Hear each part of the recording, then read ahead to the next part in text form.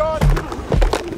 인생이 바뀌는 순간 NFL 드래프트가 다가왔습니다. 한국 시간으로 4월 26일 오전 9시에 1라운드가 시작됩니다. 1라운드만 해도 3시간 정도 걸리는데 3시간 내내 저와 라이브로 같이 봐주시면 재밌게 볼 수 있을 것 같습니다. 이 영상에서는 흥미로운 드래프트 역사부터 짚어보려고 합니다. NFL 명예의 전당 웹사이트에 따르면 NFL 드래프트는 공식적으로 1936년부터 시작되었다고 합니다. 그때까지는 돈이 더 많은 구단이 더 잘하는 선수를 데려가는 게 당연했고 빈익빈 부익부 현상을 막을 수 없었습니다. 그래서 상대적으로 경제적 자원이 부족했던 필라델피아 이글스의 공동 구단주이자 후에 NFL 커미셔너로도 일했던 버트벨의 제안으로 드래프트가 탄생합니다. 아마추어 드래프트는 메이저리그와 NBA보다 훨씬 일찍 시작한 거죠. 역사적인 첫 드래프트 pick은 제이 버웬거라고 하는 시카고 대학의 러닝백이었습니다. 여담이지만 버웬거는 DAC 다운타운 애슬레틱 클럽 상의 첫 수상자였는데 이게 저희가 현재 알고 있는 한 해 최고의 대학 미식축구 선수에게 주어지는 하이즈먼 상이 됩니다. 그러니까 최초의 하이즈먼 수상자도 제이 버웬거였고 NFL 드래프트의 첫 pick도 제이 버웬거였던 거죠. 그리고 버웬거가 러닝백이었다고는 하는 하는데 사실 하이즈먼상을 받을 수밖에 없었던 이유는 필드에서 거의 모든 포지션을 소화했기 때문입니다. 1935 시즌에만 577 rushing yard, 405 passing yard, 359 return yard, 터치다운 6개와 extra point까지 5개를 넣으며 41득점을 했습니다. 그런데 버웬거는 NFL에서 뛰지 않기로 선택합니다. 필라델피아 이글스에게 지명되었지만 연봉 협상이 결렬됩니다. 이글스는 버웬거가 원했던 경기당 1000불을 match할 수 없었죠. 그리고 협상 권한을 트레이드로 시카고 베어스에게 보냈는데 버웬거가 10종 경기 선수로 올림픽 올림픽 팀에 발탁되기 위해 NFL을 포기합니다. 결국엔 올림픽에 진출하지도 못하고 다시 시카고와 협상을 해봤지만 조지 할라스가 제의했던 13,500불의 연봉이 마음에 들지 않아 시카고 고무 제품 공급 업체에 들어가 직장 생활을 하며 시카고 대학의 코치로도 일했다고 합니다. 이렇게 보면 아주 파란만장하게 NFL 드래프트 시대가 시작되네요.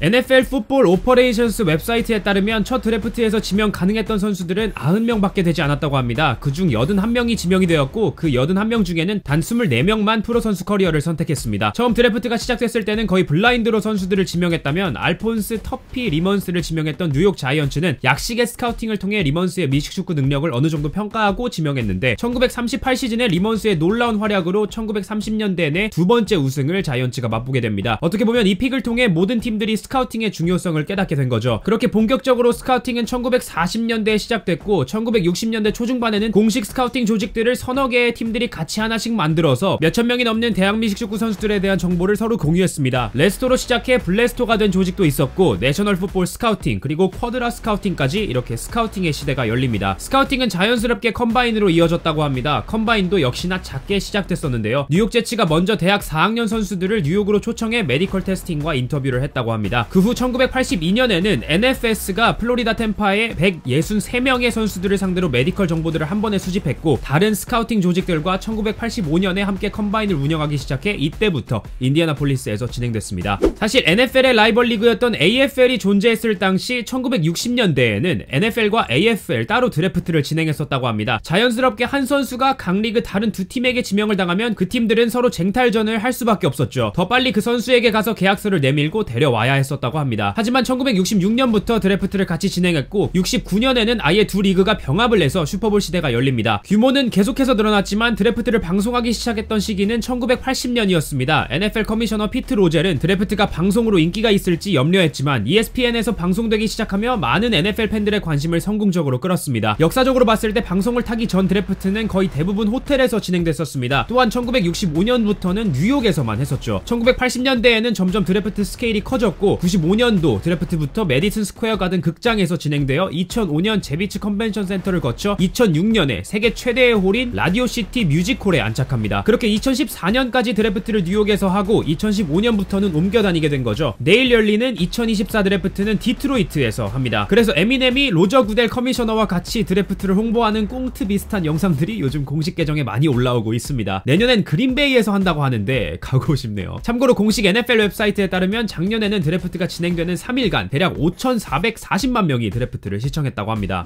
드래프트가 되기 위해선 고등학교를 졸업하고 3년이 지나야 합니다. 그렇다면 대학에 굳이 갈 필요는 없다는 뜻인데 현실적으로 봤을 때 대학 레벨에서 NFL에서 뛰지 않으면 드래프트 되기 어렵습니다. 가끔 다른 스포츠에서 넘어오거나 다른 나라에서 오는 선수들이 보이긴 하지만요. NFL 드래프트의 순서는 이해하기 참 쉽습니다. NBA 같이 lottery가 있는 것도 아니고 그냥 전 시즌 성적을 보고 가장 못한 팀부터 우승팀까지 차례대로 지명권을 얻게 됩니다. 만약 여러 팀의 승패 성적이 같다면 각팀 일정의 난이도를 측정해 더 낮은 팀이 먼저 뽑게 됩니다. 나머지 tiebreaker는 NFL 플레이오프 tiebreaker 규정과 똑같습니다. 1라운드에는 pick당 해당 팀에게 10분이 주어집니다. 2라운드는 7분, 3에서 6라운드는 5분, 그리고 7라운드는 4분이 주어집니다. 만약에 시간을 지키지 못한다면 pick을 잃게 되는 건 아니지만 다음 순서의 팀이 지명을 먼저 할 수 있는 기회가 생겨버립니다. 이 정도만 기본적으로 알고 계시면 내일 그리고 앞으로 드래프트 보시는 데에 도움이 되실 것 같네요. 그럼 내일 아침에 라이브로 뵙겠습니다. 시청해주셔서 감사합니다.